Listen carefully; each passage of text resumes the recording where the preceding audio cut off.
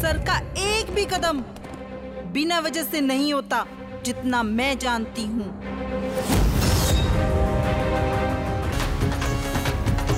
हाँ जी sir good morning जी।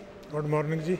आ, अच्छा तो सर आप कौन सी पिक्चर देख के आए हो सर इस टाइम एम एच जी इलाइन हार्ट वॉरियर ओके सर तो सर इस पिक्चर में आपको क्या ऐसा अच्छा लगा कि मतलब आप ये मोटिवेट होकर फ़िल्म देखने आए हो सर ये कई तरह का संदेश देती है जी इसलिए ये फ़िल्म देखने आए हैं। जी जी सर। अच्छा तो सर एक छोटी सी बात आपसे पूछना चाहूँगा कि आप कौन से डिपार्टमेंट में काम करते हैं? मैं सिंचाई विभाग में एसडीओ लगा हुआ हूँ। ओके सर आपकी सर इतनी बड़ी पोस्ट है आप फिर भी टाइम निकाल के सर ये फ़िल्म देखने आए हो सर तो ऐसा आपने फ़िल्म में क्या देखा है कि जिससे आप लोगों को भी संदेश देना चाहोगे कि हाँ लोगों को भी ये फ़िल्म देखनी चाहिए?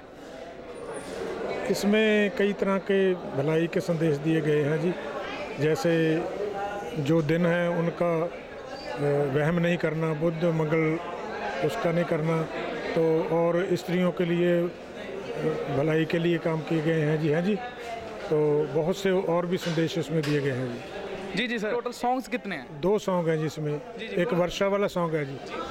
शेर दिल शेर दिल वाला। जी जी सर। जी जी तो आपको इसमें सबसे अच्छा कौन सा लगा सर? शेर दिल अच्छा लगा जी। दोनों ही लगे वैसे तो शेर दिल उससे भी अच्छा लगा। शेर दिल शेर दिल